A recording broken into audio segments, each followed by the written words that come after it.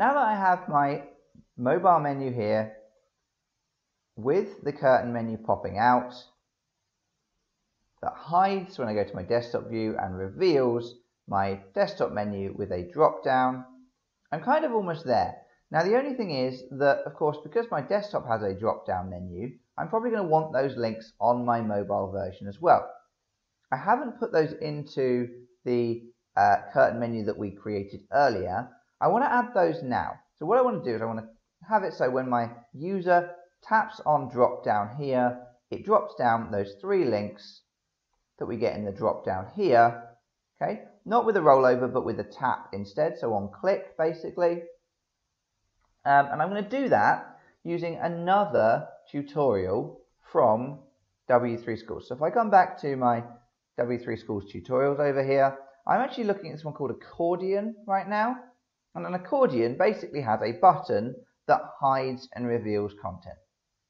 So when I click on this, it reveals the content in the box underneath it. Now that's exactly what I want to do. I want to have a button called drop down, click on it, and then a list of links pop up inside that that are my drop down options. And then I can click on it again to make them go away. There's a bunch of different things I can do here, but this is basically what I want. As usual, this is made of the three main components. We've got our HTML here. Now the HTML is incredibly simple because it's really just these four lines of code. We have the button with a class of accordion, and that outlines our button here. Great, the thing we can click on. Then we have this div with the class of panel, which contains the content within it that is revealed and hidden. Great, good. That's exactly it. That ends the div. That's just the content of the div. And that's it, that's set. So that's the only HTML we're going to need. Really, really simple HTML there. The CSS is equally very simple. We actually have two things that affect the accordion itself, which is the button. So this button here, this grey bar, is controlled or has the properties assigned to class accordion and of course class accordion hover, which is when we hover over our accordion button. Now we've already got the drop down button styled the way we want it. So we aren't actually going to need any of this accordion stuff here. We're only going to need some of the stuff in panel, which we'll cover in just a little bit. But that's the stuff we're going to need to actually style what does the stuff inside the drop down area look like. Finally, we have some more JavaScript code. Now there's two different versions of this JavaScript code in here. We've either got this basic version which makes the content appear or disappear, just pops into place, disappears again, you know, just frame by frame kind of thing. If we come down to the uh, animated accordion, it slides down and it has that nice transition that we can see at the top where kind of kind of folds out from in there. There's a couple of things that are a little bit different. If we use that, you can see that it actually changes the CSS slightly. And then there are the styles underneath, or the script underneath. We're not going to worry about what the script says or working on the script. I'm actually just going to try this yourself and this is the one we're going to work with. So I'm going to do the one with the animation because I think that will look nice. See this? Yeah, nice little bit of animation here. It looks good.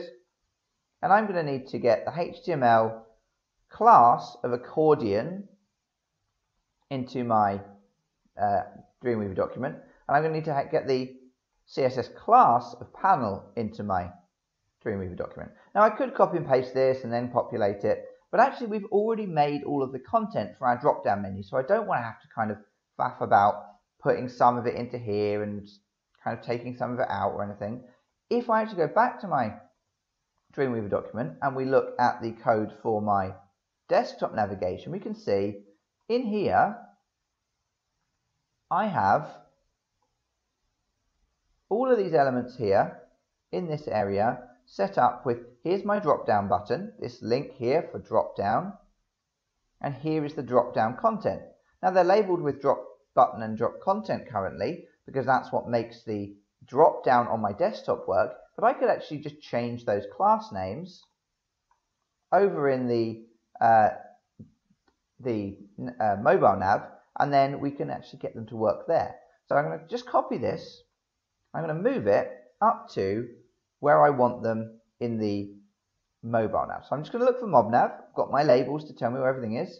There's my mob nav. This is where it all appears. There's all my overlay content. Great, it goes in the overlay. So I'm just going to pop it in underneath there before the end of that div. Paste it there. Now what I should find is I've actually got two buttons here because I've got the original one which is just a plain link and then I've got the other one which I've just pasted in which is this one here which has got all the classes and stuff associated with it.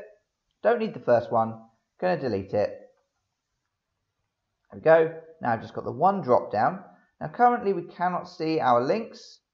Well that's partly because of the fact that they've got all of these classes attached that we don't even need. So what I'm going to do is I'm going to replace drop down or drop button, sorry, with accordion. Now I'm just going to type the word accordion, but of course we could come back to here and we could copy and paste from here if we wanted to make sure we get it exactly right. But I know how to spell accordion, I think. So I'm just going to type it in. A-C-C-O-R-D-I-O-N. Accordion, great, that's that. And then the other one down the bottom here, this div, right, well this div will serve as our panel. So I'm just going to get rid of drop down content and in, instead replace that with panel. So now I have my class for accordion and I have my class for panel all set up. Theoretically, that means that I won't need to do any more HTML. The only things I'm going to need to do, I'll bring in my uh, CSS and my JavaScript. Now you can see that because I've turned off the classes for the drop down previously, they're no longer hidden here. This is kind of good. I could leave it like this to be honest. It still functions perfectly well as long as I've got all my links in here. But I want this to be fancy. I want it to have the drop down. So I'm going to come back to my tutorial as always and I'm going to go and find the JavaScript first. I'm going to select all of this. Now I don't need the script tags this time. Everything between the script tags I need, including all of my curly braces again. Right click, copy that, go to Dreamweaver, and then in the same place I put my previous JavaScript, I can put this again. Now I could technically put it into new script tags, but I don't need to, so I'm just going to put another note or another uh, line under here, paste this stuff in with Control V. So now that I have that JavaScript in there, I just need to come back and add in that little bit of CSS that tells my menu here to be hidden and then to reveal when this is clicked. So just going to close that again, come back to my tutorial, up to the CSS. Now I don't need to do anything to accordion. The accordion button is perfectly fine as is, so I don't need to worry about that. Instead, all I need to worry about is this stuff in panel here. I don't even need all of it, so I'm going to copy it all in to start with. So from the class, including the dot and the curly brace, all the way down through the properties to the next curly brace and beyond, copy that back to my Dreamweaver document, into the CSS, pop it in where I need it, just at the end, paste. Now that puts panel in there, good. Now if I were to go to my drop down now, it should all be working fine, right? They've hidden. I click on them, they pop up, but they don't really look very good. I want to change the styles of these because what this was basically doing is it was adding some padding, which I don't really need, so I can get rid of that. And it adds a background color of white, which again, I don't really need, so I can get rid of that. I'm going to leave the max height, the overflow, and the transition, which are all things to do with the actual uh, animation that happens here. Okay, I'll leave those in place, but everything else I can get rid of. Now my links go to popping in and out and being reasonable looking, right?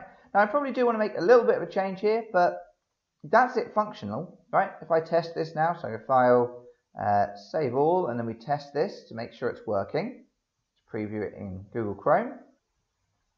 So now that I've got my menu in place and everything's working, as I say, I can do some things to style these.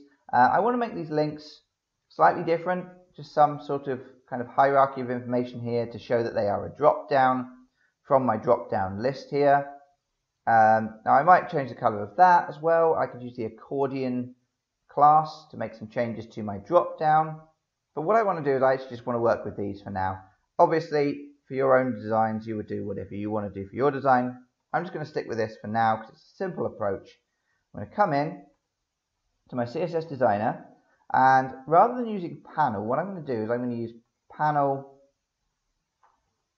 A, so dot panel and then space A for an active link because remember now that I've added them they're links.